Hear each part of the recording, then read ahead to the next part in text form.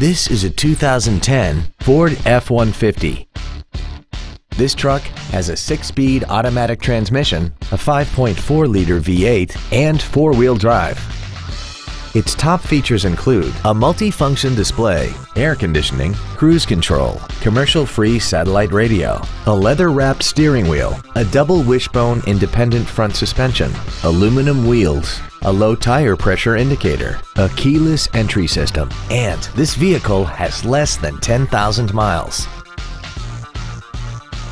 We invite you to contact us today to learn more about this vehicle.